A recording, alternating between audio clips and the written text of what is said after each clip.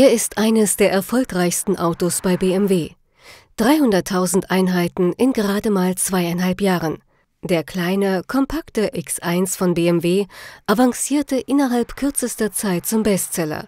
Grund genug, ihn optisch und technisch auf neuesten Stand zu bringen. Von außen gibt es ein paar dezente Veränderungen. Mehr Farbe lautet die Devise. Wir haben eine komplette neue Frontansicht. Die ähm, Frontschürze wurde überarbeitet, neu gestaltet mit mehr in Wagenfarben lackierten Flächen, äh, drei separaten Lufteinlässen, Lufteinlässen, neue Scheinwerfer, die jetzt LED gespeist sind und dadurch äh, kalt-weiß leuchten, ebenso wie die Akzentkante oben drüber. Im Heck die gleiche Änderung, die Heckschürze ist neu, mehr in Wagenfarbe lackierte Anteile. Das Fahrzeug wirkt insgesamt breiter, stämmiger, SUV-hafter. Bei der Technik wurden vor allem die Motoren nachjustiert. Diese gehen jetzt noch sparsamer mit dem immer teureren Kraftstoff um.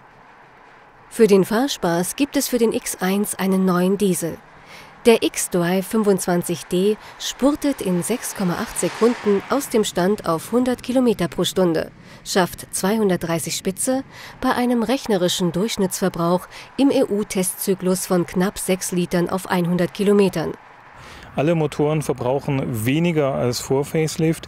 Die Dieselmotoren äh, entstammen einer komplett neuen Generation mit einem neuen Topmodell. Das ist der X325D, den Sie auch hier sehen.